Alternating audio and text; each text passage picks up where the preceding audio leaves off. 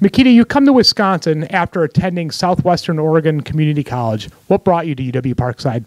Uh, well, uh, Coach Esposito used to coach in Southwestern Oregon uh, before came here, and then uh, he knew my coach in back South, Southwestern Oregon, and, I got a call from Esposito, some uh, some uh, scholarship, and he pretty much like called me like once a week, and then he could have uh, called me so so hard. So that's pretty much like a reason what I picked here. So, do you find the culture here in Wisconsin much, much different than what you had back in Japan? Yeah, there are a lot of difference.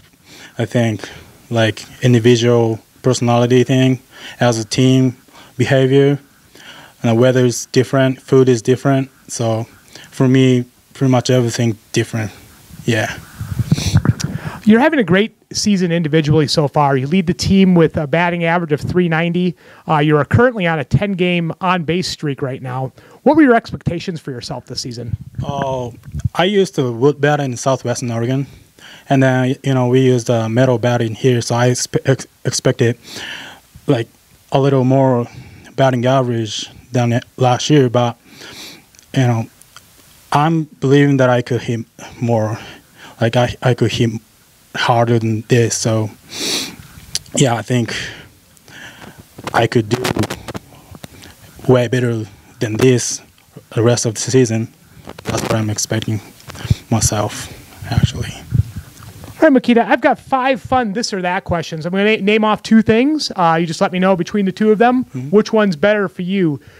First one, do you find yourself being more of an early bird in the morning or a night owl at night? I think it's early in the morning. Yeah. School question uh, between the two subjects math or English? Math, definitely. PlayStation or Xbox? Oh, I don't play either. Okay. Uh, cats or dogs? Dog. I have a dog in my back home. And last but not least, baseball question day game or night game? Definitely day. It's going to be way easier to see a ball. It's going to be warmer, especially in this area. Yeah. Yeah. All right. Thank you so much. Yeah. Thank you.